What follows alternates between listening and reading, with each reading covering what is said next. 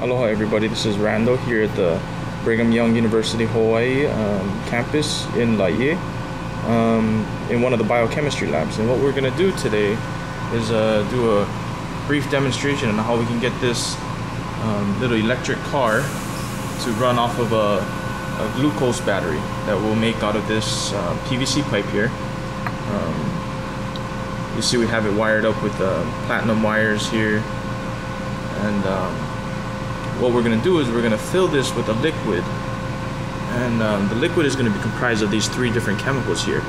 Um, sodium hydroxide. Uh, sodium hydroxide is a very um, strong base and uh, whenever working with this you'd always want to take precautions and use um, safety equipment such as gloves and goggles and such. Um, we also have here fructose. Um, fructose is something you can commonly find around the home many of your juices, your juice concentrates will be full of fructose, and uh, I'm sure all of you have heard of high fructose corn syrups and such. And um, our third chemical here is what we call indigo carmine. Indigo carmine is basically a blue food color. Okay, so now here's a better look at our biofuel cell taken apart a little. Um, the basics behind any battery is um, the same here is that the, elect- um, the electrons will flow from your anode to your cathode. In our case, the anode is this uh, platinum wire sticking out of our PVC pipe here, and on the inside, it's connected to this um, carbon felt here. The electrons will then flow through your mechanism and um, dump back onto this uh, wire here, which is attached to our cathode. And our cathode in this place uh, in this case is a manganese-based uh, catalyzed carbon that is um, open to the air on one end so that uh, the reaction may take place. As you can see here, it might be kind of difficult to see, but we're using a platinum wire here as well as on the anode side. Um, the reason for that is any other type of wire um, may cause some type of uh, reaction within itself and uh, give off a false reading for us. So to be sure that we're getting the correct readings, we're using a platinum wire. Now we're gonna go ahead and make our solution that's gonna go within our biofuel cell. And uh, this is our basic um, recipe, uh, so you call it. Um, we're gonna take three molar uh, sodium hydroxide and one molar fructose and 20 millimolar indigo carmine or your uh, blue food coloring. We're gonna mix these all together and this will become our uh, so here's a quick look at our chemicals before we mix them up into solution form. Um, our indigo carmine or our blue food coloring, sodium hydroxide in pellet form, and our fructose, which will be like a powder.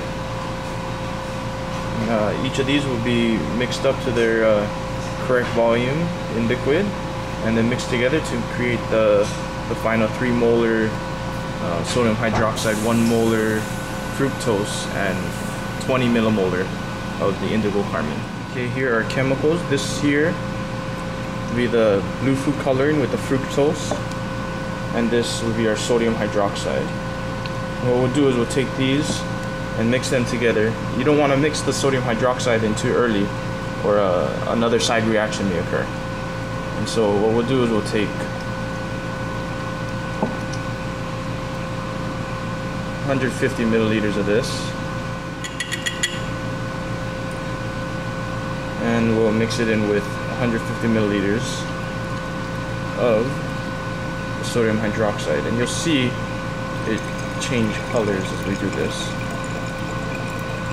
And be careful when dealing with the sodium hydroxide again.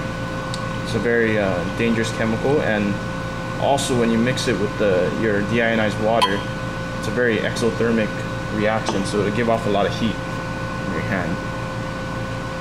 There you go, and we'll mix this up just a little bit, not too much.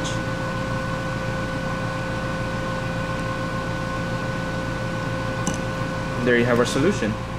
what we're gonna do next is pour the liquid into each one of our battery cells. We have three, so obviously we made 300 milliliters.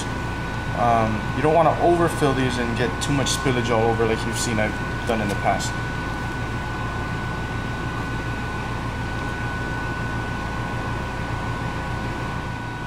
After we've uh, finished filling our battery cells, we can double check to make sure that the voltage is um, being put out is correct. Each one of these battery cells should put out approximately half a volt to about 0.6 volts, 0.5 to 0.6 volts.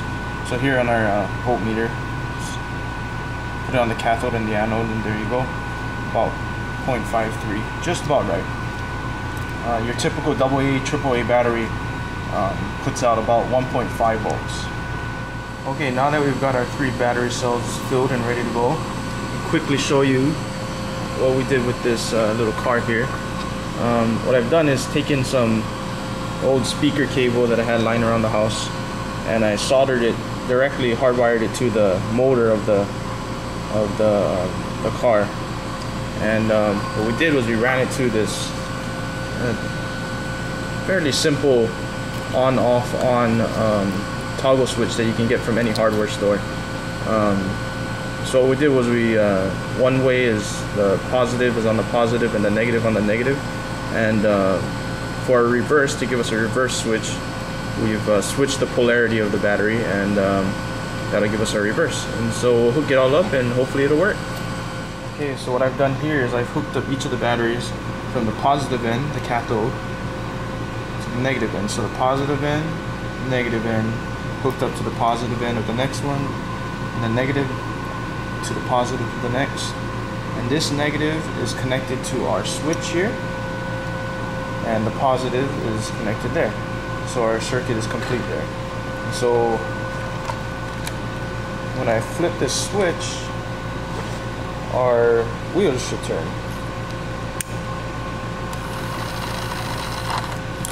So there you go.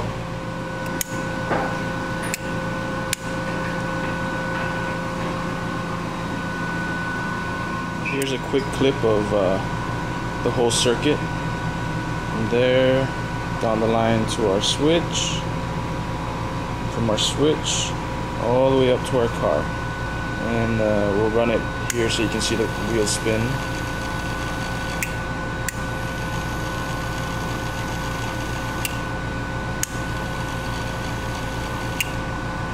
and they spin in the forward and the reverse motions